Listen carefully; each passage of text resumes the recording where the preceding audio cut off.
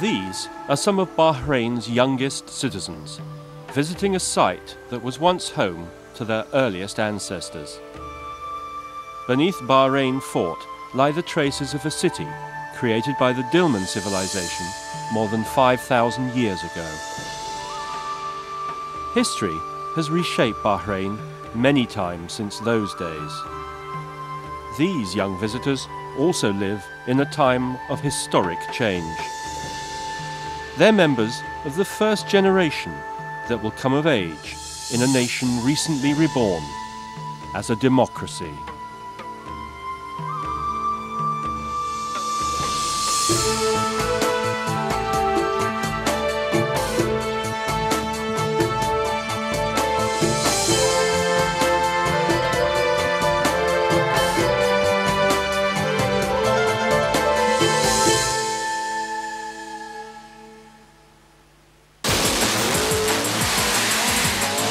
Kingdom of Bahrain is accelerating into a new future. Just like these cars at Bahrain International Circuit's first major drag racing event. Three years ago, His Majesty King Hamad bin Isa Al Khalifa released the brakes and accelerated Bahrain's drive to modernization as a democracy. Bahrain has not looked back since. Across the nation, the signs of change are visible everywhere. Dramatic new buildings are rising. Whole areas are being renewed. New towns are being built. And innovative business ventures are underway. Everywhere the talk is of bright new possibilities. This is the financial harbour in Manama, the most dramatic example of this process of transformation. Intended as the Gulf's premier financial centre, its dual towers will be the tallest structures in Bahrain. Beneath their 53 floors will be a complex of homes, a shopping mall, a new stock exchange, an auditorium, and more. Today, a man with a soaring personal vision to match his nation's new ambitions is visiting the towers, getting a taste of Bahrain's highest place. Adnan Al Qassab has already achieved fame after leading Bahrain's successful expedition to the South Pole two years ago. Now he has his sights set yet higher. And next year will lead Bahrain's first expedition to climb Mount Everest.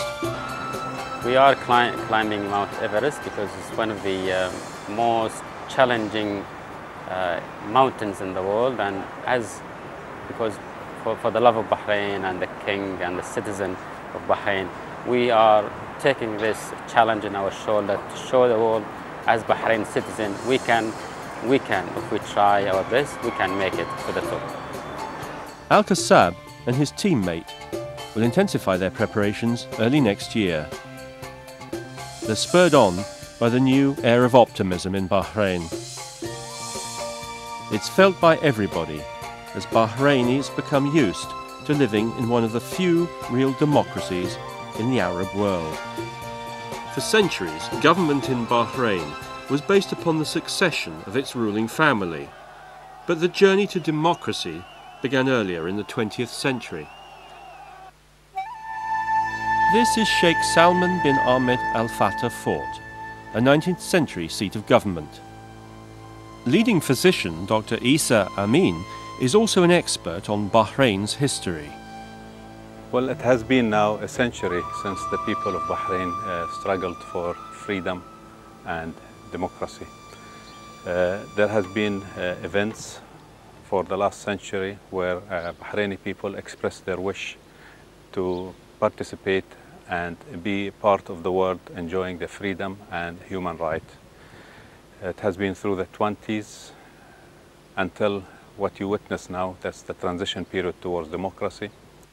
We live through a, a world whereby the communication through the media is fast and accurate and Bahrainis, like any other people in the world, yearning and loving and struggling for freedom and democracy.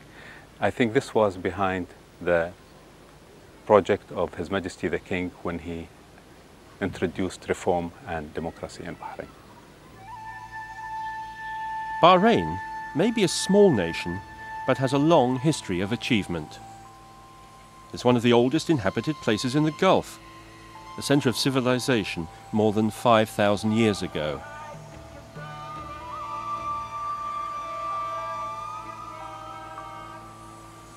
It was also one of the first countries to embrace Islam, just eight years after the Hijra.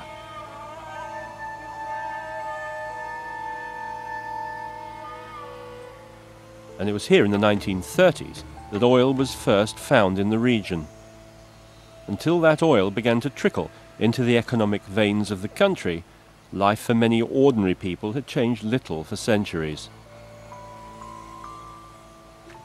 The main income had come from pearl fishing. In its heyday, 20,000 pearl fishermen worked these waters.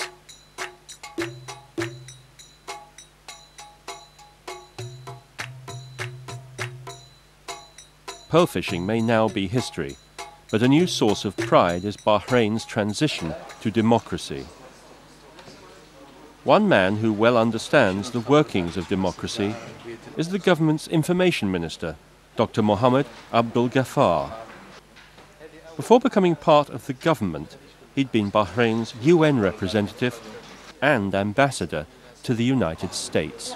Uh, the most uh, important thing that Bahrain gained from this process of reform, it's a process of democratization which is started, and it, this process gives the Bahrainis uh, a very significant opportunity for renewal and for change and for economic development uh, and political development. I think that uh, the reform process which, is, uh, which has started in Bahrain and the, the leadership of His Majesty King Hamad, it really uh, it showed that Bahrain can always, as history has been always, can renew itself and can create environment for innovation and development.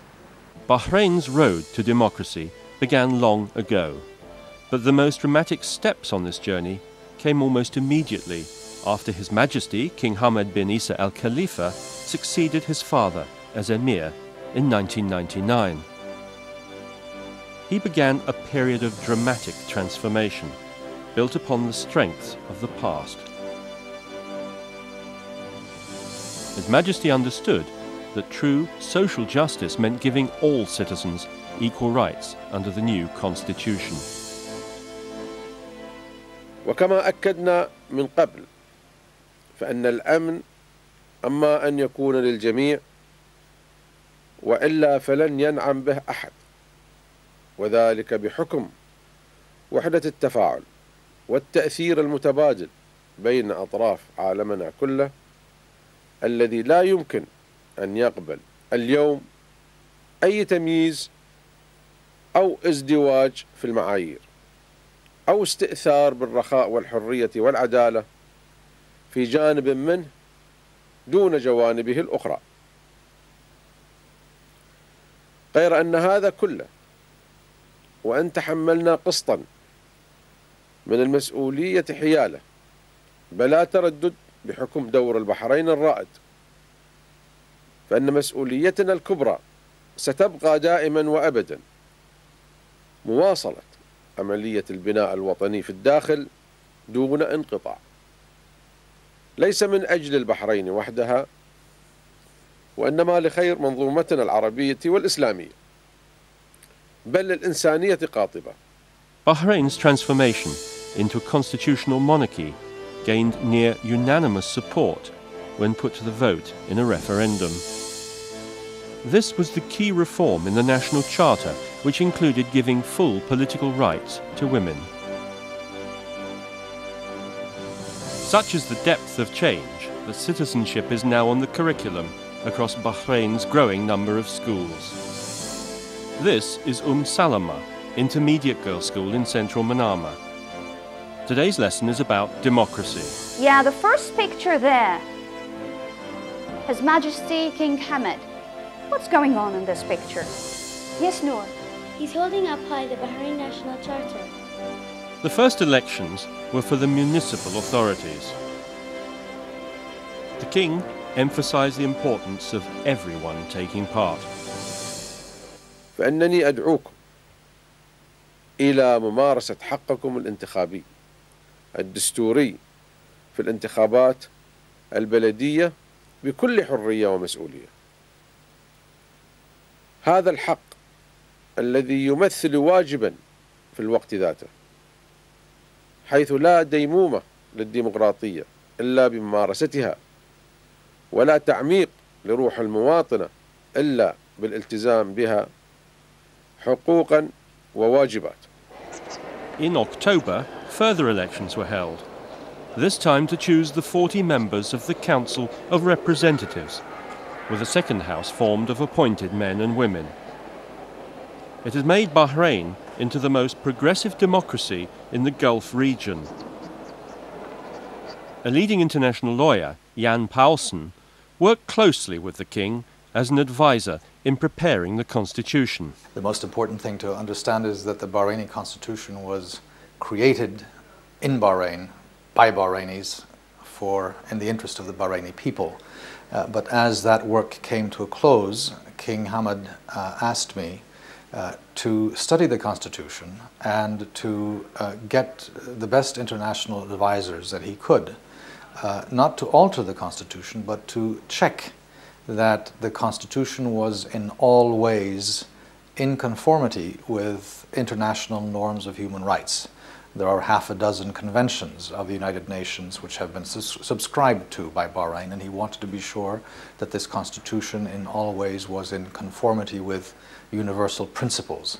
And when he did that, I realized that uh, he was looking for a constitution which was not, not drafted in a way to suit him, but that was a constitution that obeyed uh, appropriate principles, and it was a courageous thing to do. The reforms offered other significant changes.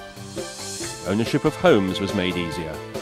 His Majesty announced that all loans would be written off, at whatever stage people were in buying their homes. All political prisoners were freed, dissidents from overseas invited to return home, and trade unions were permitted. One of the most vital freedoms within a democracy is the right to speak openly. The key forum for this is the press, whose freedom is now guaranteed under the Constitution. Bahrain has six newspapers. Its oldest, Akhbar al Khalij, founded in 1976, is edited by Anwar Abdul Rahman. The beauty of democracy, I always call it a sword with the two edges. It cuts both sides, meaning that we have the right to write, but also the other side has the right also to pursue what we have written legally if we are wrong. This has uh, created a, an era, a new era to all of us, that the papers will not be banned, that papers will not be stopped, that the readers will not be deprived from their paper, but the case can be taken to the court and the verdict of the judges actually will be the end of everything. Akbar al Khalij will soon have further competition. Ibrahim Bashmi, a member of the Shura, plans a new title in early 2006.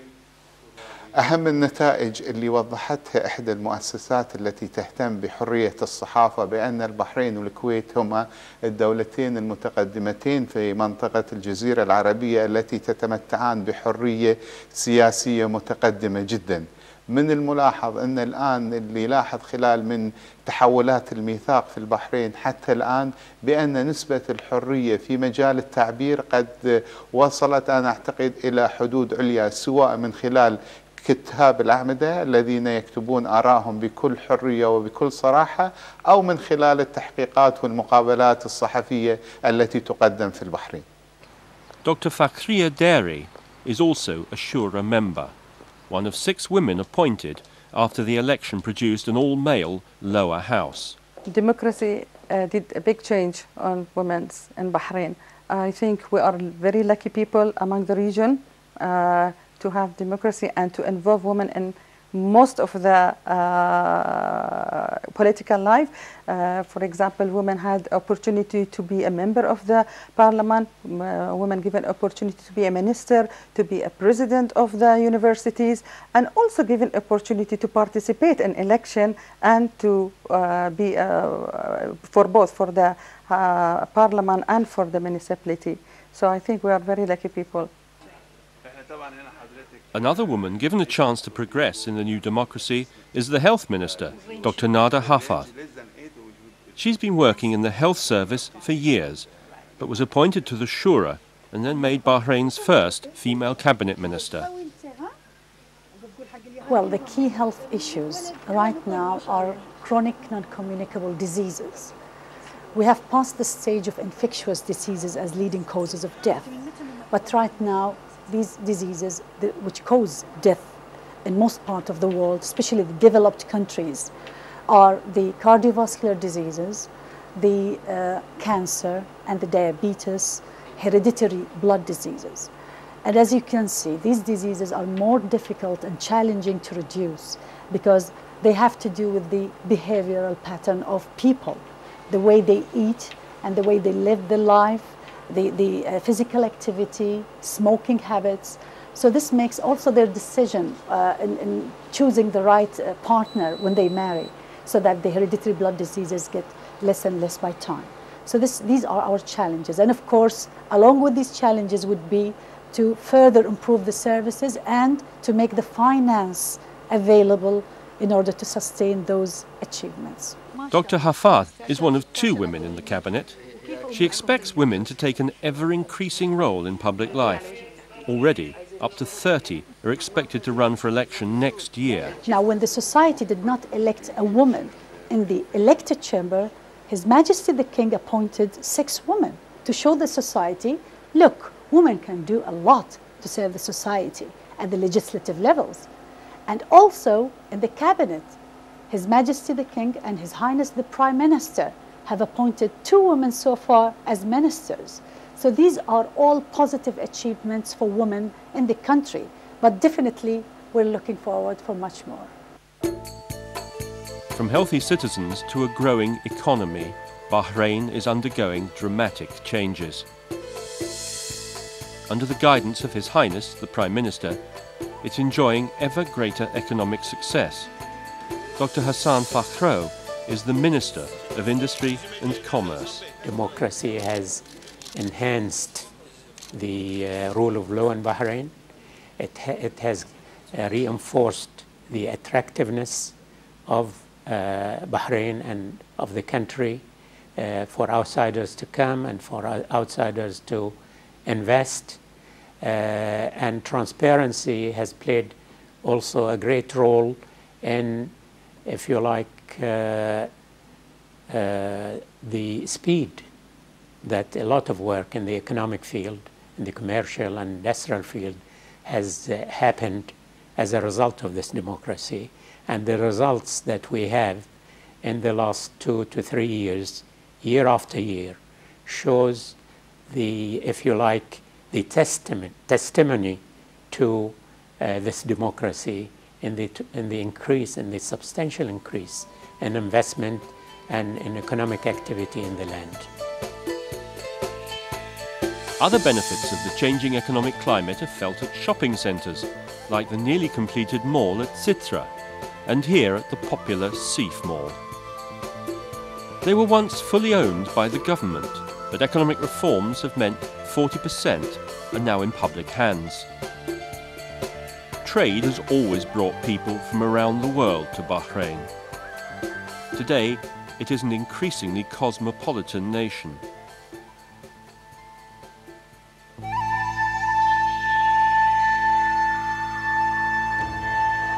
Tourism is a vital and growing business for Bahrain's future prosperity.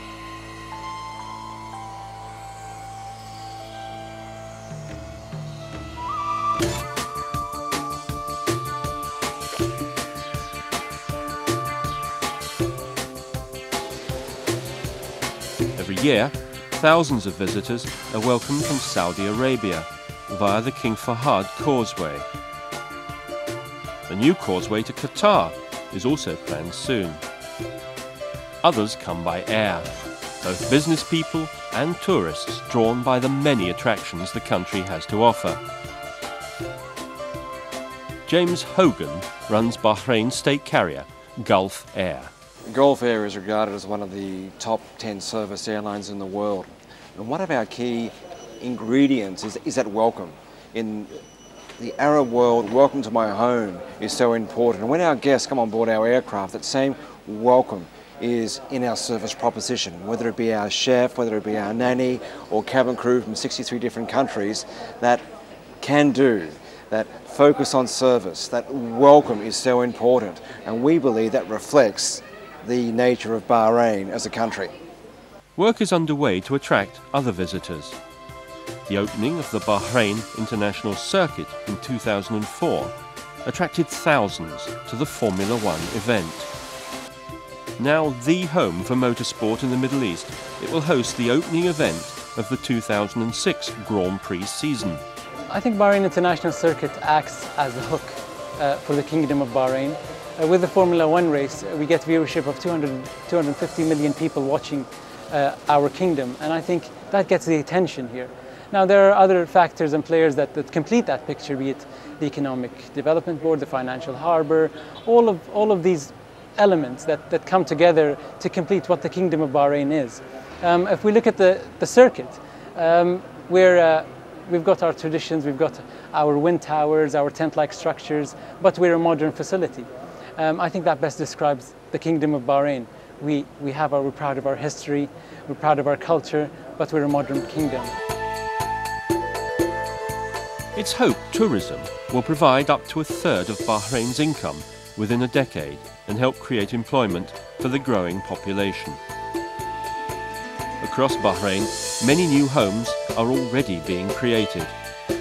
Some are on land reclaimed from the sea, projects such as the Durat Al Bahrain, with its luxury homes on an arc of 13 islands, and the Amwaj Islands, with homes and places for visitors. Other landmarks, such as the Bahrain National Monument, are also taking shape. The new National Library in Manama, and the Sheikh Khalifa bin Salman International Port. Increasingly, visitors come here to do business, and many financial and business institutions have made this their base for the region. With such growth underway, an increasingly skilled workforce is vital. Bahrain University, the kingdom's oldest, has long been preparing young people for top jobs. Its largest department is the Business School, with more than 5,600 students. Dr. Ahmed Kuder is the head of Management and Marketing Studies. Here in the University of Bahrain, College of Business, uh, uh, we try our best actually to prepare our students to be uh, future managers and future leaders and try to, to provide the economy with all the talents and skills we need in Bahrain in order to improve our economic development and to ensure our uh, uh, position as a financial uh, harbor in the, not in the region but also in the international level as well. Bahrain is now a country increasingly at ease with itself and the world. The citizens have a developing sense of pride in their homeland. هذا يخلينا نحس إن المجتمع أو الحكومة بنفسها قاعدة ترعانا. فهذا الشيء يجعلنا إحنا نكون فخورين بالمجتمع البحريني. أنا أفتخر إني بحرينية لأن أهل البحرين يمتازون بطيبهم وسماحتهم بين يعني جميع دول الخليج. طبعا كذلك اللي هو بفضل قيادتها الرشيدة والحكومة طبعا اللي هو تسعى إلى الديمقراطية والانفتاح والمساواة بين الناس. فهذا يعني كل كل هالأشياء تخليني أفتخر ان أنا بحرينية. الحمد لله نعمه الأمان وهي أهم النقاط.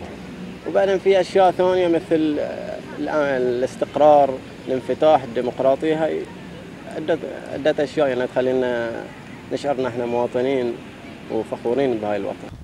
One obvious source of pride is its new status as a democracy.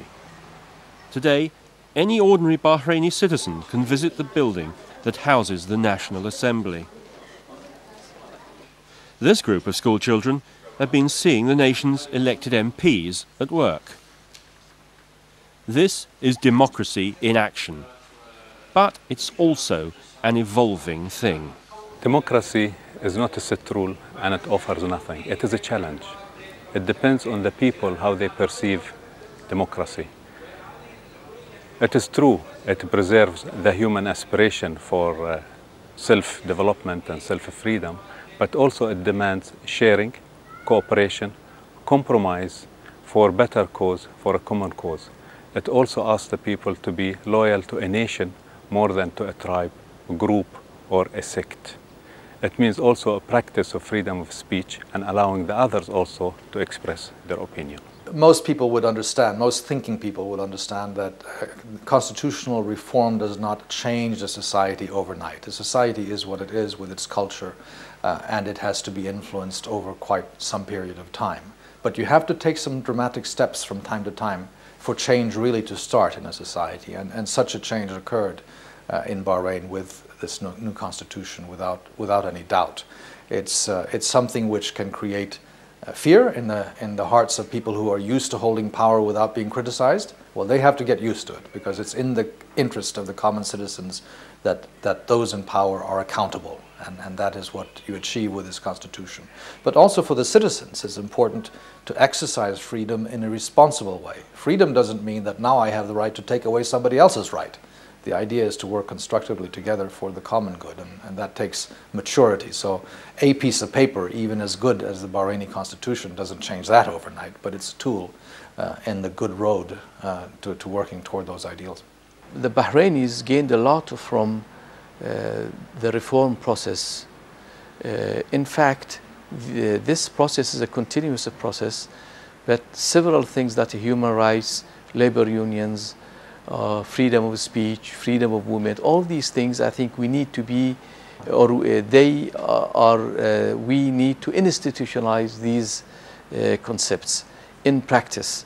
Because without institutionalizing these things, uh, the democracy will not be very strong. And I'm sure that the Bahraini people uh, will institutionalize these things gradually in the coming years. Bahrain in 2005 is a country that is many things. A place that welcomes visitors from around the world and does business globally, but that also preserves a great heritage.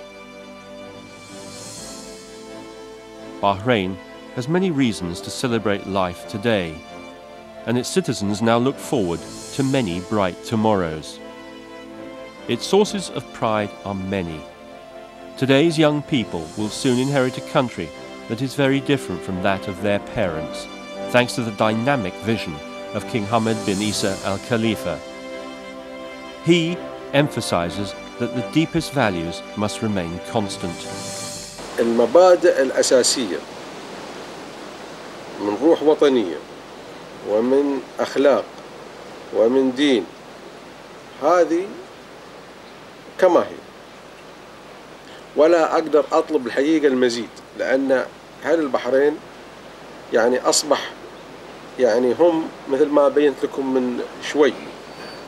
هم بخدماتهم الكبيرة على الرأس. والصغير منهم واللي معاكم واللي يريد له تربية وكذا ما في ما له مكان إلا الحضن وهذا الحقيقة اللي إن شاء الله إحنا وياكم نسير عليه في تربية أبنائنا وأجيالنا القادمة. Bahrain has many resources, but as His Majesty King Hamad bin Isa Al Khalifa has always realized, its greatest asset is its people. And now, for the first time in its history, they're playing a central role in defining its future course. Democracy is the key that is unlocking the door to a new Bahrain for the 21st century.